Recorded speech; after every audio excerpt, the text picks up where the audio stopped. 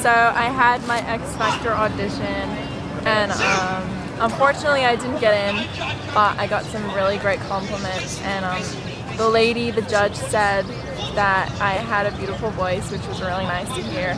Said she loved my voice, but I um, I was just really nervous and I was really frigid. I didn't move at all, and so she said to work on my like confidence or like work on my nerves, and then I'll basically get in. So that was really nice to hear. So I'm gonna sort of try out again tomorrow. I'm gonna audition again tomorrow.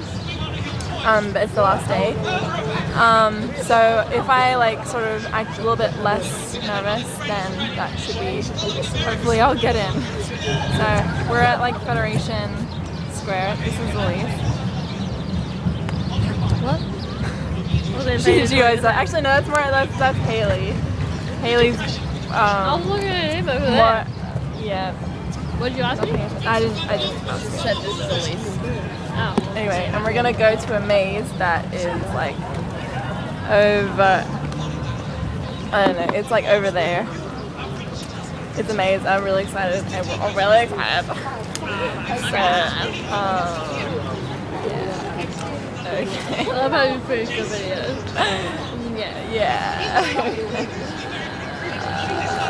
okay. Okay. Bye.